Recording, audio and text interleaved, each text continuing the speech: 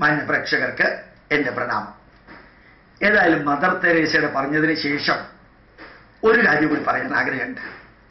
Mother Teresa എങ്ങനെയൊക്കെയാണ് കാര്യങ്ങൾ നേടിയത്? ഈ അച്ഛൻ ശങ്കരാചാര്യരെയും വിവേകാനന്ദനെയും ചിന്മയാനന്ദനെയും നാരായണ ഗുരുദേവനെയും എന്തോ നാരായണ ഗുരുദേവനെ തൊട്ടില്ല.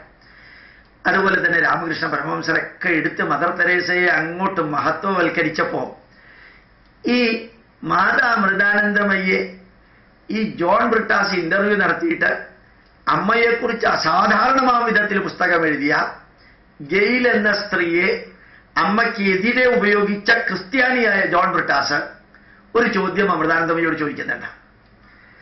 അമൃതാനന്ദമയ്ക്ക് ഫോറിനിൽ നിന്ന് ധാരാളം പൈസ വരുന്നില്ലേ? ഇഷ്ടംമാതിരി ഹ്യൂജ് എമൗണ്ട് ഈ കോളേജുകൾ ഉണ്ടാക്കാനും അതുപോലെ തന്നെ യൂണിവേഴ്സിറ്റികൾ ഉണ്ടാക്കാനും എല്ലാം വരുന്നില്ല എന്നൊരു ചോദ്യം ചോദിച്ചു. അതിന് അമൃതാനന്ദമയി ഉത്തരം പറഞ്ഞിട്ടുണ്ട്. അമ്മയ്ക്ക് നല്ല രീതിയിൽ ഗുരുകുല സമ്പ്രദായ പ്രകാരം ഓല കെട്ടിടത്തിൽ സ്കൂളും കോളേജും നടത്തണം എന്നാണ് ആഗ്രഹം. പക്ഷെ സി ബി എസ് സിയുടെയും ഐ സി എസ് സിയുടെയും കേരള ഗവൺമെന്റിന്റെയും അതുപോലെ മെഡിക്കൽ ബോർഡിന്റെയും എഞ്ചിനീയറിംഗ് ബോർഡിന്റെയും ടെക്നോളജിക്കൽ ബോർഡിന്റെയും ഒക്കെ അംഗീകാരം കിട്ടണമെങ്കിൽ ഇന്ന നീളം വീതിയും ഉയരവും കോൺക്രീറ്റ് കെട്ടിടവും ഒക്കെ ആവണമെന്ന് നിർബന്ധമുള്ളത് കൊണ്ടാണ് മക്കളെ. അമ്മ അതൊക്കെ ഉണ്ടാക്കുന്നത്? അതൊക്കെ ഉണ്ടാക്കാൻ പൈസ വേണ്ടേ മക്കളെ?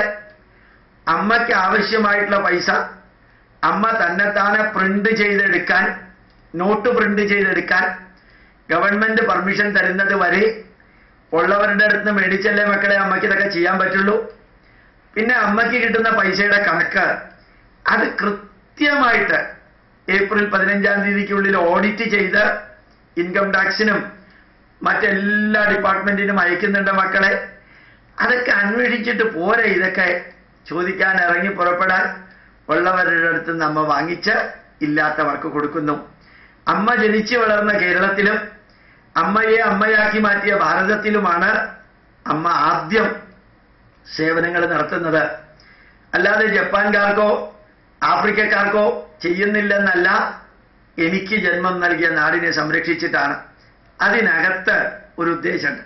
മദർ തെരേസ നൂറ് ശതമാനവും ക്രിസ്ത്യാനിയുള്ള അൽബേനിയ. ആ വാക്ക് ശരിയാണെന്ന് എനിക്ക് അറിഞ്ഞൂടാ. അൽബേനിയയിൽ തൊടാതെ നൂറ് ശതമാനവും ക്രിസ്ത്യാനികളാക്കാൻ വേണ്ടി ഇറങ്ങി പുറപ്പെട്ട ബംഗാളിലും ഭാരതത്തിലും ഇറങ്ങിയത് ഇവിടെയേ മതപരിവർത്തനം നടത്താൻ പറ്റുള്ളൂ. അമ്മ മതപരിവർത്തനം നടത്തുന്നുണ്ടെങ്കിൽ മനസ്സിലാണ് മാറ്റം.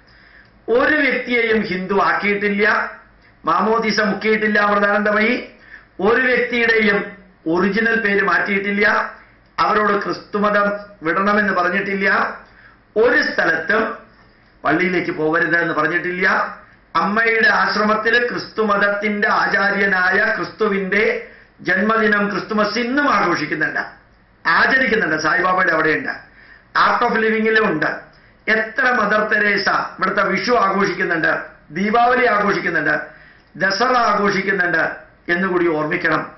ഏത് ചോദ്യത്തിനും മാതാ അമൃതാനന്ദമയി ഉത്തരം നൽകിയിട്ടുണ്ട്. അമ്മ എന്ന വാക്ക് ഞാൻ നേരത്തെ പറഞ്ഞ പോലെ ലോകം വിളിക്കുന്നുണ്ടെങ്കിൽ അത് മദർ എന്നുള്ളതിന്റെ മലയാളത്തിന്റെ അർത്ഥത്തിലല്ല.